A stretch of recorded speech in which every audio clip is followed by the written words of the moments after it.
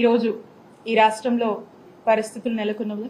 అనేటువంటిది మాట్లాడదామని ఈ ప్రెస్ మీట్ని కండక్ట్ చేయడం జరుగుతూ ఉంది. మనం చూసుకున్నట్టయితే ఏ దేశంలోనైనా ఏ రాష్ట్రంలోనైనా అట్మోస్ట్ టాప్ ప్రయారిటీ అనేది హెల్త్కి ఇవ్వడం అనేది జరుగుతుంది ది సేమ్ టైం మన రాష్ట్రంలో కూడా రెండు వేల పంతొమ్మిది నుంచి రెండు వేల ఇరవై నాలుగు వరకు వైఎస్ జగన్మోహన్ రెడ్డి గారి నాయకత్వంలోని మా ప్రభుత్వంలో మరి ఏ విధంగా కాంప్రిహెన్సివ్ హెల్త్ కేర్ అనేది అందరికీ అందించడము పేద ప్రజలకు మెరుగైన వైద్య సేవల్ని ఉచితంగా నాణ్యమైన వైద్య సేవల్ని మరి ఏ విధంగా డోర్ స్టెప్స్ వరకు కూడా ఇచ్చేటువంటి ఒక ఆలోచన చేయడం కానీ మరి దీన్ని అనేక ఇనిషియేటివ్స్ అనేక స్కీమ్స్ని తీసుకొచ్చి వీటిని ఇంప్లిమెంట్ చేయడం కానీ ఏ విధంగా మనం చేశాము అనేటువంటి విషయాలు కూడా మీ అందరితో కూడా పంచుకుంటాను.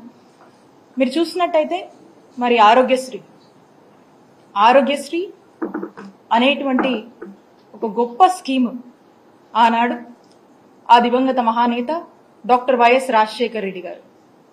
రెండు వేల ఏడులో ఈ రాష్ట్రంలోని ఏ ప్రజలు పేద ప్రజలు కూడా వాళ్ళ పేదరికం వల్ల వాళ్ళ సిచ్యువేషన్స్ వల్ల వాళ్ళకి ఏదన్నా ఒక హెల్త్ ఇష్యూ వస్తే అది వాళ్ళకి భారం అయిపోతుంది ఆ బర్డెన్ని ఆ పేదవాడు తట్టుకోలేడు. దానివల్ల అనేక ఇబ్బందులు పాలయ్యి దానివల్ల ఏ విధంగా ఆ కుటుంబం ఇబ్బందుల పాలై నష్టపోతుంది ఏ విధంగా బాధపడుతుంది అని చెప్పి ఆ బాధ ప్రభుత్వం బాధ్యత అని భావించి ఆనాడు వైఎస్ రాజశేఖర రెడ్డి గారు ఆరోగ్యశ్రీ అనే ఒక పథకం తన మేధస్సులోంచి ఆలోచించి తీసుకొచ్చినటువంటి ఒక గొప్ప పథకం. వైఎస్ఆర్ గారి బ్రెయిన్ చైల్డ్ అని చెప్పి గర్వంగా చెప్పుకునేటువంటి ఒక పథకం. అప్పటి నుంచి ఇప్పటి వరకు కూడా ఈరోజు దేశం మొత్తం గుర్తించుకునేటువంటి ఒక పథకం. ప్రతి తెలుగువాడు కూడా గర్వంగా చెప్పుకునేటువంటి ఒక పథకం. ఈ ఆరోగ్యశ్రీ పథకం అని చెప్పొచ్చు. మరి అలాంటి ఆరోగ్యశ్రీ పథకం అప్పుడు వైఎస్ఆర్ గారి హయాంలో మొదలై అప్పటి నుంచి కూడా అంచెలంచెలుగా కూడా ఏ విధంగా మరి జగన్మోహన్ రెడ్డి గారి ప్రభుత్వంలో మనము ఎంత గొప్పగా దీన్ని అమలు చేశామని మనం చెప్పొచ్చు. మరి ఆ మధ్యలో వచ్చినటువంటి ప్రభుత్వాలు కొంత వాళ్ళు ఏ విధంగా అంత ప్రయారిటీ ఇవ్వకపోవడం ఏ విధంగా నిర్లక్ష్యం చేశారు అనేటువంటి విషయాన్ని కూడా మరి గత ప్రభుత్వాల్లో మనం చూసాం. మరి మనము జగనన్న ప్రభుత్వంలో ఈ ఐదేళ్ళ టూ థౌజండ్ నైన్టీన్ నుంచి టూ థౌజండ్ ట్వంటీ ఫోర్ వరకు ఈ ఫైవ్ ఇయర్స్ టెన్యూర్లో మరి ఆరోగ్యశ్రీ పథకం మనం చూసినట్టయితే వెయ్యి యాభై తొమ్మిది ఉన్నటువంటి ప్రొసీజర్స్ మనము జగనన్న ప్రభుత్వంలో మూడు వేల రెండు వందల యాభై ఏడు ప్రొసీజర్స్ వరకు కూడా పెంచి తీసుకెళ్ళి ఇంప్లిమెంట్ చేశాం. అంతకుముందు మీరు చూసినట్టయితే వెయ్యి యాభై తొమ్మిదే ఉండేది. టీడీపీ హయాంలో. సంవత్సరానికి వెయ్యి కోట్లు మాత్రమే ఖర్చు చేసేటువంటి పరిస్థితి టీడీపీ హయాంలో ఉండేది. మరి జగనన్న ప్రభుత్వం వచ్చాక ప్రతి సంవత్సరం సుమారు మూడు వేల కోట్ల వరకు కూడా మరి ఈ ఆరోగ్యశ్రీకి మనం ఖర్చు చేసినటువంటి పరిస్థితి. అలాగే మీరు చూసినట్టయితే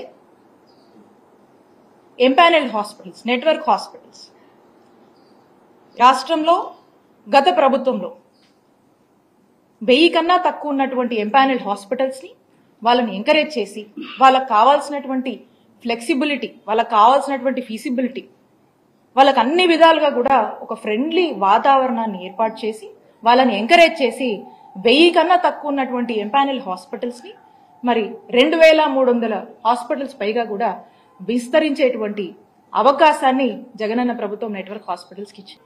మరి ఈ రోజున మనం చూస్తున్నట్టయితే ఈ రాష్ట్రంలో రాష్ట్ర ప్రజల్లో ఒక పెద్ద ఆందోళన నెలకొంది.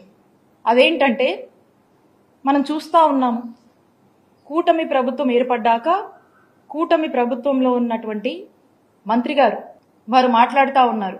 ఏమని మాట్లాడుతూ ఉన్నారు? గత ప్రభుత్వము అప్పులు చేసిపోయింది బకాయిలు పెట్టింది. మాకు బాధలు ఉన్నాయి కష్టంగా ఉందని చెప్పి వారు మాటలు చెప్తా ఉన్నారు.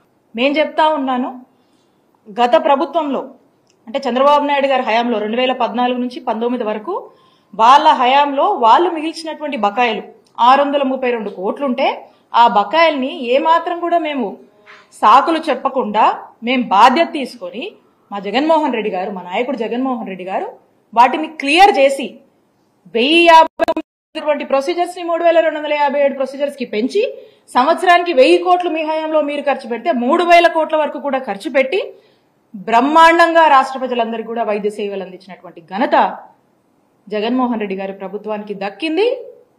ఆ నమ్మకాన్ని కూడా ప్రజల్లో మేము నెలుపుకుంటున్నాం మరి ఈ రోజున ఈ సాకులు చెప్తూ ఏవో అప్పులు ఉన్నాయని చెప్పి ఏదో బకాయిలు ఉన్నాయని చెప్పి మీరు మీ బాధ్యత నుంచి ఏమైనా వైదొలుగుతున్నారా? మీరు ఏం ఇండికేషన్ ఇస్తున్నారు? అనేటువంటి సందేహము ఈరోజు రాష్ట్ర ప్రజలకు కలుగుతుంది అని తెలియజేస్తున్నాను.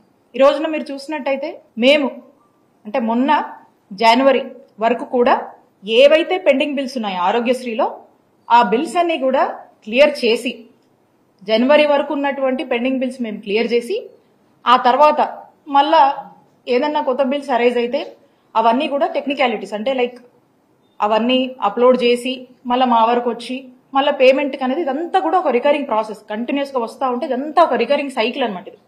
సో మా వరకు జనవరి వరకు ఉన్నవి కూడా మా జగనన్న ప్రభుత్వం క్లియర్ చేసి ఆ తర్వాత ఫిబ్రవరి మార్చ్ ఏదైతే ఉందో అప్పటికి వచ్చినటువంటి అప్లోడ్ అయ్యి వచ్చినటువంటి మా దృష్టికి వచ్చినటువంటి ఏవైతే ఉన్నాయో అప్పటికి వచ్చేసరికి మార్చ్లో ఎన్నికల కోడ్ వచ్చింది.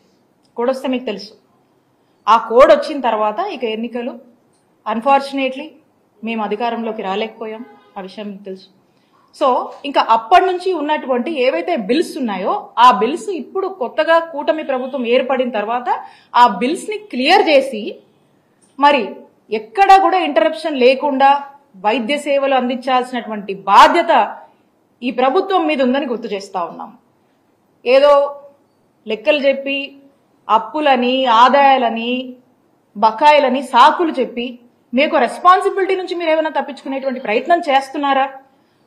ఆరోగ్యశ్రీ సంబంధించి వాటి యొక్క బిల్స్కి సంబంధించి ఈ సాకులు చెప్పి మీరు ప్రజల్ని ఏమన్నా ఒక ఆందోళన పరిస్థితిలో ఉంచేటువంటి ఒక ప్రయత్నం చేస్తున్నారా? లేకపోతే ఏంటి మీరు చెప్పాలనుకుంటుంది? ఈ బిల్స్ పట్ల మీ స్టాండ్ ఏంటి? ఈ బిల్స్ అనేది మీ బాధ్యత. ఇది కంటిన్యూస్ రికరింగ్ సైకిల్ అని చెప్పి మీకు గుర్తు చేస్తా ఉన్నాం